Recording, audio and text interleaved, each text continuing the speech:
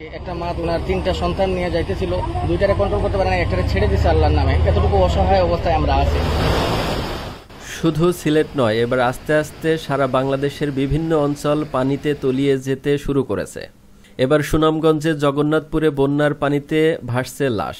গতকাল রবিবার বিকেলে পৌর এলাকার ইকরসই বৈঠার টেক নামক স্থানে দৃশ্য দেখা গেছে। মরাদেহটি সাদা কাফনের কাপড়ে মোড়ানো।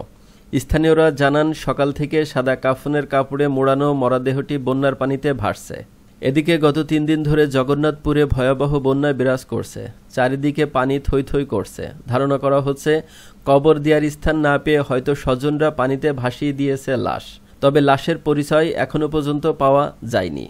প্রত্যক্ষদর্শী স্থানীয় বাসিন্দা আব্দুল গফুর জানান সকাল থেকে লাশটি ভাসতে দেখা গেছে, এখনও ভাসছে। দাফনের কোনো জায়গা না পেয়ে হয়তো পানিতে ভাসিয়ে দেওয়া হয়েছে লাশটি। আরেকজন প্রত্যক্ষদর্শী, সমাজসেবী কর্মী, স্বেচ্ছাসেবক লীগ সভাপতি সালিক আহমেদ পীর জানান, কাফনের কাপনে মোড়ানো রয়েছে লাশটি। মনে হচ্ছে কবর দেওয়ার মাটি না পেয়ে লাশটি ভাসিয়ে দেওয়া হয়েছে। এদিকে গত শুক্রবার থেকে জগন্নাথপুরে বন্যা পরিস্থিতি চরম আকার ধারণ করেছে। উপজেলার আট লাখ মানুষ পানিবন্দী হয়ে পড়েছে। কয়েক হাজার মানুষ ঘরবাড়ি ছেড়ে আশ্রয় কেন্দ্রে আশ্রয় নিয়েছে।